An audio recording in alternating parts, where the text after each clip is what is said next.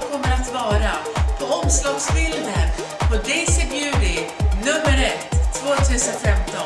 Missa inte den bilagan.